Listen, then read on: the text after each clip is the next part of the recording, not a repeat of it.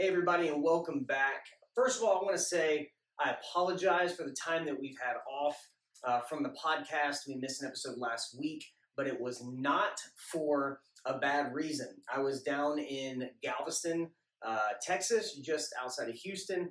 Uh, was there at a competition with the gym that I work uh, I work with here in Schertz uh, to support their program, uh, both the or I should say the Austin location, the Katy location, and our location here in San Antonio. And they had an incredible, incredible showing at the competition. We got um, a handful of bids to uh, to Summit, which was one of our biggest goals for our program. Um, and then on top of that, just as a shout out to San Antonio Spirit, um, they also received a few a few bids to uh, D2 to D2 Summit, so that weekend, last weekend, was a huge weekend for San Antonio cheerleading. Um, so huge congratulations to, to both of those programs. Continuing with our congratulatory efforts, um, some of the guys, some of the people that we've had on in the past for the podcast um, had some pretty good weekends this weekend, especially um, down there in Orlando at UCA College Nationals. So first and foremost, have to give huge, huge congratulations to Colin Cockrell. Uh, if you guys remember, he was on the podcast a few months back. Um, the, the title was Interview with Maui. Um, amazing athlete out of Weber State. You know, if you've seen, followed us on, on any of our social media platforms, you know uh, my feelings on Colin. He is, in my opinion, the best male uh, cheer athlete in the world right now. And this weekend, uh, and I've been telling him since we since we became friends. I've been telling him I truly feel like you're going to win nationals. I think you're the best out there. All you got to do is go and show him. And uh, story, keeping the story short, it's exactly what he did. Um, if you haven't seen his routine from college nationals this past weekend, you got to go scour the web, find it, find somewhere where you can get to see this routine. It is absolutely insane. Uh, so congratulations to Colin on your UCA Partner Stunt Championship, best couple uh, in the country at the UCA comp. Extremely incredible. Uh, second, congratulations to University of West Georgia and their program. If you remember, um, again, one of our first interviews we had was with uh, coaches Brian and Nicole Nichols from University of West Georgia. They clinched another national championship to add to their program. Again, continuing on with that dynasty that we talked about uh, in their interview. If you haven't listened to their interview, um, it's something that I urge you to, to scroll down, take some time and listen to this interview. It's amazing to hear about a married couple that has taken a program, you know, essentially that was, uh, you know, at the bottom of, of the success pool, so to say, and, you know, have launched it into multiple national championship uh, dynasty programs. So, again, great interview to go listen with them. And then lastly, uh, GCU Grand Canyon University uh, that we had on for our, our last interview was Coach Keegan Hubbard, uh, State Director uh, for Arizona, as well as cheer coach at GCU Grand Canyon University in Phoenix.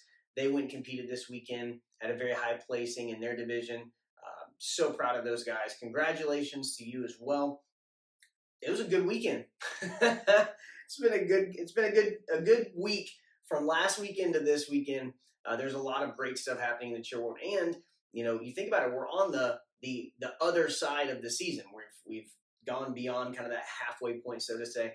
Um, it's getting closer to you know our big competitions. We've got nationals coming up for NCA um, here shortly. We've also got, I mean, just around the corner, guys. You're looking at you know Worlds and Summit and D2 Summit are within the next you know three to four months. So definitely a lot of time left in the season, but it's getting close to those those big big events that everybody looks forward to. So for this week, I do want to get back in and answer more of your questions. We do have some interviews coming up um, in the upcoming weeks. One interview is going to be with LS McLean. He's the the cheer coach at Texas State.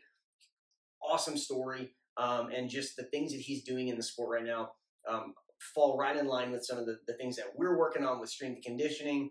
You know, he's he's like a mad scientist where he's experimenting with different strength and conditioning programs for his athletes. You know, he's writing these plans, having them go and do them for you know a handful of weeks, and then reporting back and seeing uh, the outcome. So, kind of a mad scientist of sort when it comes to conditioning for uh, his cheer athletes. But decided to get him on to uh, to pick his brain. Um, you know, it's just like uh, like uh, Michael Pucci, if you remember the interview we did with Pucci. Uh, he was a, a, national champion with UCF back in the early 2000s. Um, they won UCA College Nationals. He was an athlete with them, and now world record holding power lifter. Um, and so now LS is also in that same boat, extremely gifted in strength sports, uh, but yet still coaching cheer. And to, to, see some of that overlap is, is pretty cool. So this week we're going to answer a couple of your questions um, that we have some that you guys submitted to us um, that we haven't gotten to yet that I would really like to touch on. I think would be very beneficial, especially at this time in the year um, when we're really honing in on perfecting skills um, for competitions and really trying to shave off some of those deductions that we may have gotten um, in previous comps. Our first question is what are some recommendations for conditioning for flyers? Now, my view on flyer conditioning is a little different than the traditional um, traditional view that's out there, which is pretty much flexibility and endurance, right? So yes, those things are very, very important, but they're overdone, right? So number one, we have to remember one of the concepts that we talked about before, right? We're looking at the energy systems of the body or how the body uses fuel in different ways, right? So when you look at the cheerleading competition of two and a half minutes, that's very close to a sprint. It's in that middle range between not being purely a sprint, you know, you're thinking 30 seconds or less, all out, you know, all out effort is is a is a sprint. In that mid range of, you know, up to five minutes or so, four to five minute mark, and then five minutes and beyond is more of our long term energy systems. So number one, when we think about conditioning, yes, endurance is important, but we have to have the right type of endurance. If we're not, if we're training long duration, slow, steady conditioning, we're missing the mark, right? We need to condition for our needs which are we need to have an athlete that is adapted to performing high intensity activity for two and a half to three minutes. So, first of all, is if you're going to focus on purely cardio and conditioning, we have to set it up to where it's effective in that middle range more than anything. Okay, now, yes, those other ends are important because, like, a tumbling pass falls into kind of that sprint category, you know, and a full practice is going to fall into that long duration, um, lower energy output energy system. But our competition, our bread and butter is that middle range, that not quite a sprint, not quite, you know, running a marathon, right in the middle. So when it comes to conditioning, working intervals of like, you know, one to three minutes and doing repeats of that is going to condition your athletes a whole lot better. But one of the issues that we see with flyers is they focus so much on their flexibility, not enough on stability, that they struggle when it in, in, in skills when they're in the air, not because they're not flexible, but because they're not strong enough to maintain body positions. And so as they start to fatigue, instead of being, you know, falling back onto um, their body positions being held because of proper body positioning and strength, they're modifying the way that they're in the air, their body positions, so that they can use less muscles and they're more stacking themselves on top of each other. I know that sounds like it could be a bit confusing, but you you know what it, it, hip hiking is the exact example of that. So if you have an athlete that has deconditioned glutes, the muscles that control their hip, if they're weak there, you'll notice that they hike that other leg up in the air. So let's say they're doing a lib, uh, left leg is lifted. You'll notice that left hip is torqued over towards the right.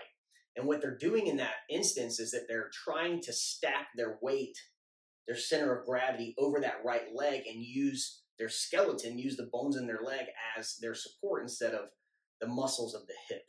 And so the biggest thing I like to focus on with our flyers is hip strength and hip stability. Um, focusing on body lines and body positioning is also very important. But at this point in the season, you know, when you're looking at cleaning up routines so you can shave off points for deductions, when it looks when you look at your flyers, working on hip strength and stability is going to help with that because it's going to stabilize the stunts at the top and it eliminates variability for your top girl um, in her body position so that makes it an easier thing to work with uh, for your bases and back spot remember everything that you do every single person is an active member. So we can't have weak and just hyper flexible flyers because they're small because then they're no longer an active member of that stunt. They have to be active. So we need stronger and more stable flyers. And the only way to work on that is with strength building. So I would suggest working things like, uh, you know, box step up drills, mat step up drills, you know, where you're folding the mat, you're stepping onto that mat, really focusing on hip positioning, you know, long duration holds in certain body positions like your Liberty. Uh, put them in a lib and have them hold it and for as long as they can and watch what their hips are doing. See if their hips are uh, tilting or rocking one way or the other. And if they are, correct them and have them hold that position until they begin to be proficient in it. If you uh, check out our Instagram and our YouTube from early days when we first started posting content, there's a video uh, working with a flyer named Jalen, um, and we have her in a lib on the ground with a band uh, for resistance, and she's pushing the band away from herself and bringing it back towards herself. We do that from both directions. Um, that exercise alone is tremendously helpful with building stability because you're adding resistance from the sides in a one-legged stunt. So if they're able to fight resistance and still stay steady, they're going to be able to hold their body weight without resistance a whole lot easier. Um, so just giving them different stimulus in the body positions that you're looking for can also be extremely beneficial. Um, working things like lunges, squats, and a lot of you know uh, glute strengthening. Another video we posted, um, I believe the title was "Flyers Falling Out of Stunts." We show an exercise called a monster walk, where you band the knees and you're doing a you know kind of a quarter squat walk with the legs in a, a widened position, and that activates a lot of the muscles in the glutes and hips to build strength there. So if we can focus on hip and glute strength, I believe that's the best thing we can do um, for our flyers outside of what we're already doing. Um, because again, we focus so much on flexibility and conditioning during practice um, that if we put some focus and strength, especially around the, the midsection the core, it'll pay off tremendously. Before we get to our second question, we're going to pause for just a second so we can hear from our sponsors for this episode. Um, again, these sponsors are, are helping us to grow a scholarship for our athletes. So we'll pause for just one second and we'll be back with our second question. And we're back. So our second question is uh, here we go. How to get a faster rotation in the tuck. Okay, so, so I'd probably say mental blocks and standing tucks are the two things I get asked most about, or we get requests most about. And we posted quite a bit of content along the way of drills and things to work on with tucks. Um, when it comes to faster rotations in the tuck, let's talk about let's talk about what we're looking at. You know, when it comes to like mechanically, what what is that motion? Okay, the tuck portion of a tuck is driving the knees up towards the chest in a rapid way to create rotation that flips us over. Okay. The muscles that are responsible for that are our hip flexors, the muscles in the front of the core, and then depending on if you grab like around your knees or underneath your legs when you tuck, your arm muscles also become helping factors with this. Okay. So if we're looking at increasing rotation or speeding up rotation in, in our back tuck, we have to increase power output by these muscles. Okay, because if they're the ones that are generating the rotation, if they're weak, they're gonna be, they're gonna put out less power, which equals less rotation. And if they're stronger or more powerful, they're gonna make a faster rotation. So first of all, breaking it down into those individual things, strengthening your hip flexors with doing things like leg lifts, uh, doing things like um, the seated frogs where you're sitting on your butt, you straighten your legs out front, bring them back in, kick them out, bring them back in, or bicycles where you're sitting on your butt and you're kicking and pedaling your feet. Those are working core and a lot of your hip flexor strength. Additionally, you can work on hanging knee raises, right? So you're hanging by a pull up bar and you're bringing your knees up towards your chest. We had a video in the past where we showed a banded uh, banded tuck drill where you lay on the floor with the band around your feet and you're going into that tucked and rolled up position while you're laying on the ground. Again, using resistance to build up that speed and power. Um, but also things like working plyometric drills, where we're jumping, where we're creating uh, more explosive output is going to be very beneficial as well. One of the things that I see a lot of that is something that can be fixed pretty quickly and make a pretty fast difference is where our athletes are grabbing. Uh, when we see standing tucks, you know, with our, you know, with with gymnastics versus cheer, gymnastics is much more, you know, much more uh, specific about how they want the tucks to look versus cheer. Like, yes, there's, you know, there are deductions that can be made for, you know, non-aesthetic tucks, but for the most part, it's kind of get over, right? Just make it over. So if we're grabbing behind the legs and the legs are kind of piked, not necessarily fully straight, but let's say the knees aren't bent as much as they could be, that extended lower leg creates drag and it slows down the rotation of the tuck. So one thing that I suggest for athletes right off the bat is start working on grabbing the front of your leg, like under your knees when you tuck, or if you're going to grab behind your leg, make sure that you're not straightening your lower leg. Make sure your knee is fully bent. By staying tighter there and just by, you know, bringing the lower leg, and by lower leg I mean your calf, like your shin and down, by bringing that closer to your body, you're speeding up your rotation because you're a smaller object, so you'll spin faster, right? So just making sure that we're not piking at all and that our legs are tight, uh, basically kind of heels to butt while we're rotating will help to speed up rotation quite a bit.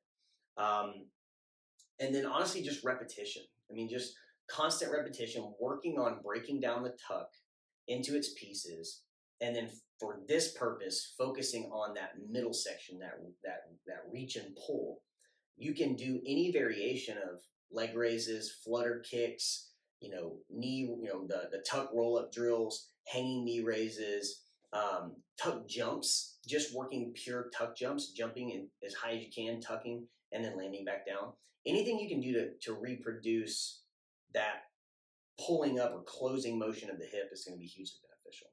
So, check out the content that we have uh, for tuck drills on our YouTube and our Instagram page um, for more information and kind of some descriptions of how to do some of these strength and conditioning exercises and continue to submit your questions for us so we can answer. Remember, we do these, we want to answer questions that are relevant to you guys, especially now in the, the dead heat of the season. So if you have questions, feel free to reach out to us. And again, want to thank all of our supporters so far that are helping us to build our scholarship. If you would like to become a supporter for the podcast, go to anchor.fm forward slash cheerleading, where you become a monthly uh, contributor to the podcast, again, helping us to build scholarships for our cheer athletes that are headed off to college. Thank you guys so much for joining. It's been a pleasure to catch back up with you all. Again, congratulations to all the teams that did well uh, over the last couple of weeks, earning spots to Summit, earning bids to, to D2 Summit, and to our winners and high placers at UCA College Nationals. You guys have an incredible week, and we'll catch you on the next episode.